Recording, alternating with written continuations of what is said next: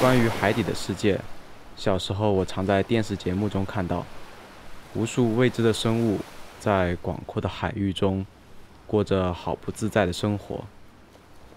但是，不知道你们看到这些画面是什么感受？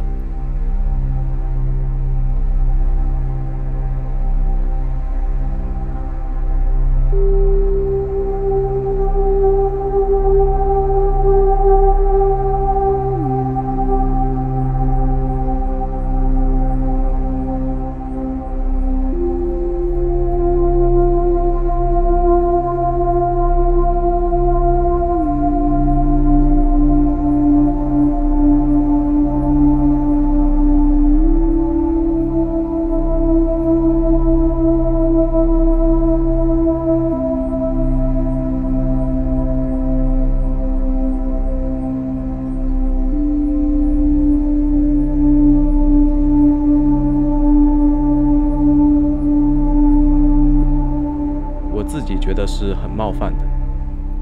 近期一部叫《渔业阴谋》的纪录片在 Netflix 大火，一度登上搜索第一位。我和 Grace 也有所耳闻，一起好奇地打开了这部电影。当时是一个深夜，我们看到了两点多钟。就是眼前的这些画面，让我们迟迟无法入睡，甚至开始了一段深深的讨论。最近几天，我不停地搜索，去了解海洋与人类的关系。如果你看到了这支视频的结尾，你就会知道我和 Grace 做了一个我们从没想过的决定。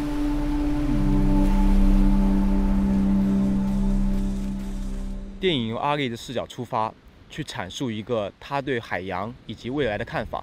起初是阿里对海洋的热爱，但随后他听到无数的鲸鱼因为海洋中的塑料垃圾而死亡时，他进一步了解到，地球上每年会产出多么庞大数量的塑料垃圾，并将它们投放入海中。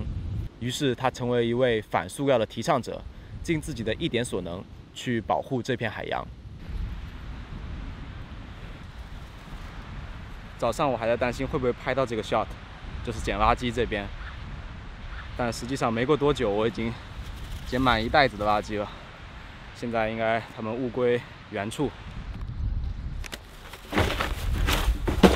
但随后的新闻报道中，他得知日本将重新开启捕鲸活动，即便国际上已经禁止一切的捕鲸行为，所以他决定前往日本泰迪町去探索其中的原因。虽然困难重重，但阿里还是成功的捕捉到了一些人类与海豚争斗的画面。其中呢，人们可能为了将海豚高价卖给海洋馆去表演，但实际上。大部分的海豚在这个过程中是不能被活捉的，平均每捉一只海豚就有十二只海豚被杀害。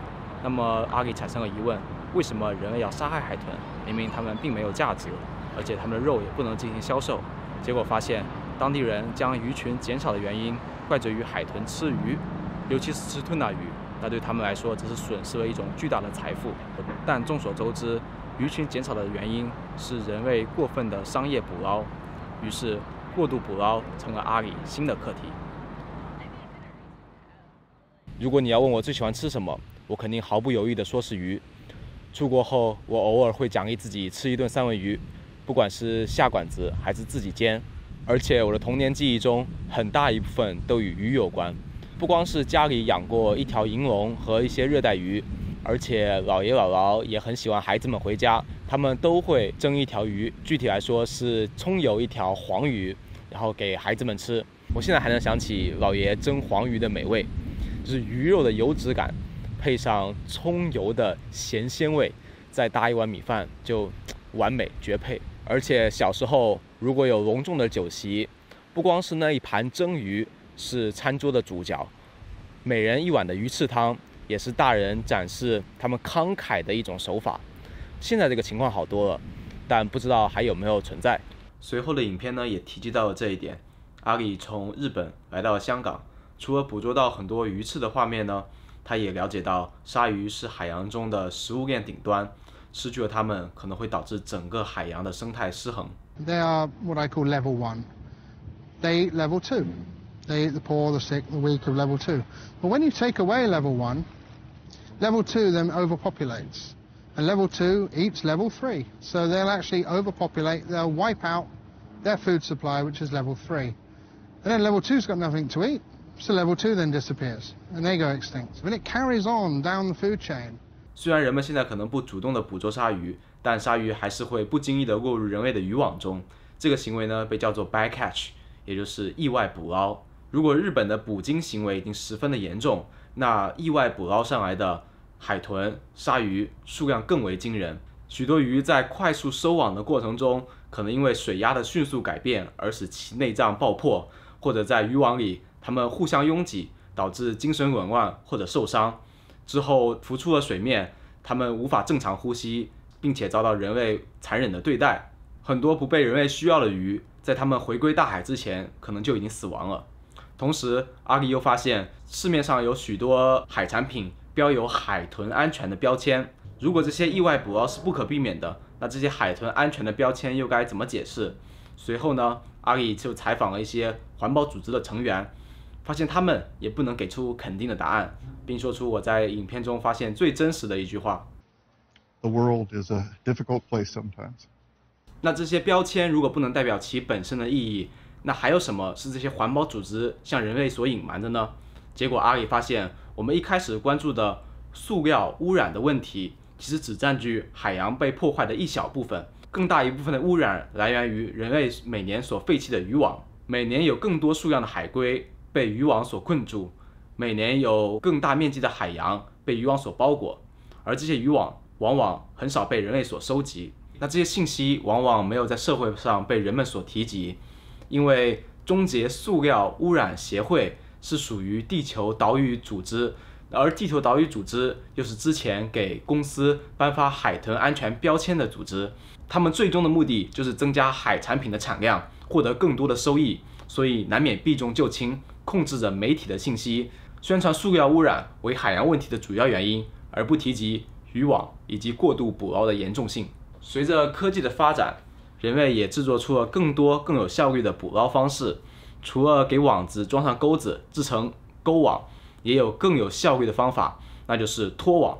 庞大的巨网只用一艘船就能拖起，在海里不做选择，一网捞起，寸草不生。网里面呢，有人们能拿来卖钱的鱼，有还没有长开的鱼宝宝，甚至还有人们没有见过的海洋生物，但最多的是人们不需要的鱼儿，他们。则浪费了他们无辜的生命。人们关注的全球变暖、二氧化碳排放，大家可能会想到砍伐树木、城市污染，甚至畜牧业。但是，往往大家会忽略了海洋以及海洋生物对二氧化碳储存的巨大贡献。它们占据了全球最大的碳储存比例，失去它们，后果不堪设想。如此严重的现象，为什么很多大企业没有站出来敲黑板强调？大家对海洋的认知很简单 For the money，跟着金钱走。无法拒绝的金钱利益是不能阻止渔业发展的主导原因。资本的力量推开前面一切的阻碍，他们以渔业是可持续发展为借口，继续扩大着他们对海洋的剥削。但实际上，捕捞所谓可持续发展的三文鱼和捕捞那些濒危的蓝鳍吞拿鱼是一样的不环保。并且，地球岛屿组织持续的给很多大公司提供海豚安全的标签，为了让他们挣更多的钱。而且，不法分子也会杀害监管他们的环保人士，为了让他们更好的挣钱。即使大家的生活看似和渔业无关，你所上交的税收也是有很大一部分政府将会拿来作为渔业的补贴，让渔业更加的繁荣。另一方面，也让大家所买的海产品价格相对低一些，看似。双赢的背后，其实承担压力的是大海中无数的鱼儿们。渔业的膨胀就像当年美国的淘金时代一样，不停的扩张，人们也无法满足自己国家近海的海域，不断的向外扩大范围。其中，非洲地区的海域成了人们攻击的目标。我们所熟知的索马里海盗，其实很大一部分，他们原先只是普通的渔民，因为外来入侵的高科技渔船进入这片海域之后。他们在近海打不到鱼，所以他们不得不用简陋的船出远航去打鱼，但其中的生命危险是极高的。或者他们则摇身一变变身为海盗，但这个后果一发不可收拾。而且在近海失去食物之后，他们开始尝试陆地上的野味，这也是当地爆发埃博拉病毒的主要原因之一。既然商业捕捞有这么多的危害，那为什么不选择用养殖的方式去解决？其实市面上大部分的海产品已经由养殖业去提供，但是平均要养殖一公斤重的三文鱼，就要消耗一点二公斤的饲料。可是要生产这么多饲料，就要压榨并提炼更多的鱼去作为饲料的原材料，并且为了提高生产效率，将如此庞大数量的鱼群关在一个如此狭小的空间去培养。难免产生巨大的浪费、死亡、疾病、有机物污染的过度排放是不可避免的。所以，单方面的满足养殖业的需求，也无法停止大家对海洋的过度捕捞。而且，在泰国，似乎渔业中存在着奴役劳作、黑社会的干预以及政府的不恰当的保护，所以不禁将这一切都归功于眼前的利益，也让阿里这次的泰国旅行。成为某些势力的眼中钉，于是导演从泰国中逃出。他似乎已经明白了这一场旅行终将变成某种程度的无奈。他最后来到了丹麦的法国群岛，见证了捕鲸行为以另一种方式继续进行着。